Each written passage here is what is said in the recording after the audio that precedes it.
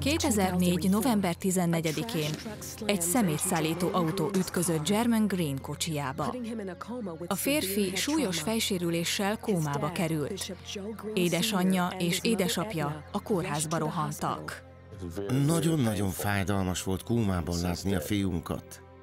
És nem tudni azt, hogy vajon képes lesz-e túlélni, vagy sem. Idegörlő állapot volt. Ezt mondtam az úrnak. Istenem, azt mondtad, hogy a fiam egy nap prédikátor lesz, és sok dolga lesz még ezen a földön. Bármi is legyen ez, adj még kegyelmet.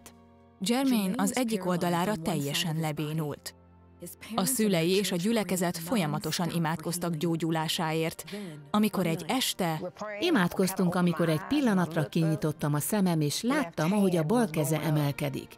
Így, ahogy mutatom. Így tett.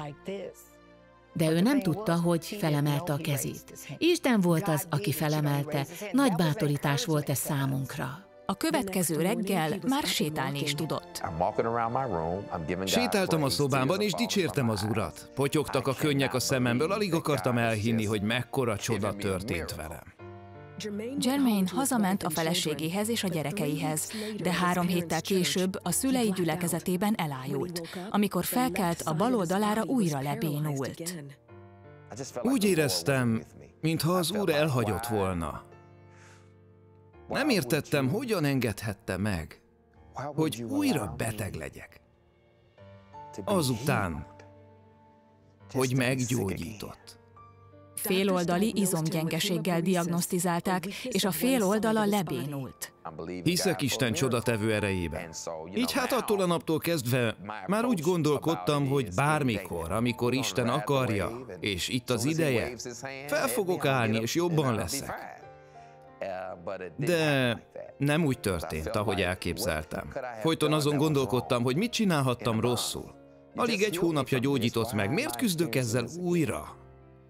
Miután a gyógytornás kezelések nem segítettek, Germain elfogadta, hogy kerekes székben kell töltenie élete hátralevő részét. Nem sokkal később a felesége is elhagyta, és egyedül maradt négy gyermekével. Germain mély depresszióba esett, és arra jutott, hogy mindenkinek jobb lenne, ha végezne magával. Már a kezemben voltak a vérnyomás csökkentő tabletták, amikor a kislányom odakúszott hozzám, és csak nevetgélt, mosolygott rám. Majd felkapaszkodott az egyik lábamon, és leült mellém. Épp, ahol a gyógyszeres dobozok voltak. Valójában ezért nem vetettem véget az életemnek. Végül Germain szülei beköltöztek hozzá, hogy segíteni tudjanak. Ez idő alatt Germain kapott egy kijelentést arról, hogy nem számít milyen helyzetben van, Istenért fog élni. Eldöntöttem, hogy semmi sem fog megállítani abban, hogy prédikáljak, profétáljak, és megcselekedjem azt, amit az Úr kér tőlem. Ha kerekes székben kell maradnom, hát legyen. Két évvel később, 2007 húsvét vasárnapján, az Isten tisztelet vége felé közeledve, Germain egyszer csak azt mondta, az Úr azt akarja, kezdjük el dicsérni őt. Egyszer csak azt mondta, az ő kenete által Isten ma csodát fog tenni. Egyszer csak felállt és járni kezdett. Mire én is felálltam és tapsolni kezdtem.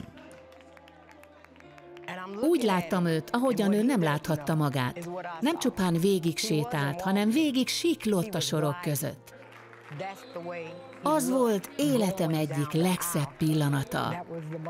Így látni őt újra. Egy kis időbe telt, míg Germain rádöbbent, hogy meggyógyult. Még mindig nehezen hiszem el azt, ami történt vele. Egyszer csak az emberek ölelgettek, és én is őket, de még mindig nem döbbentem rá igazán, hogy a saját lábamon álltam. Csak akkor jöttem rá, amikor láttam, hogy a kerekesszék üres volt. Amikor véget ért az Isten tisztelet, a legcsodálatosabb volt azt érezni, hogy nincs többé szükségem arra a kerekes székre. Soha többet. Később Germain kontrollvizsgálatra ment az orvosához. Az orvos bejött és elcsodálkozott, hogy két lábon állok. Rögtön azt mondta, ez csoda.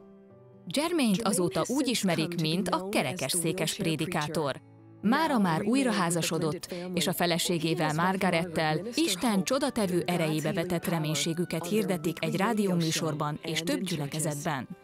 Az Úr mindent helyreállított, amit elvesztettem. Megáldott egy csodálatos, istenfélő nővel, akiről kijelentette nekem, hogy ő az, akit nekem rendelt. Ő az én kincsem. Isten továbbra is csodatévő. Ő minden, amire szükségünk van. Csak kérnünk kell őt.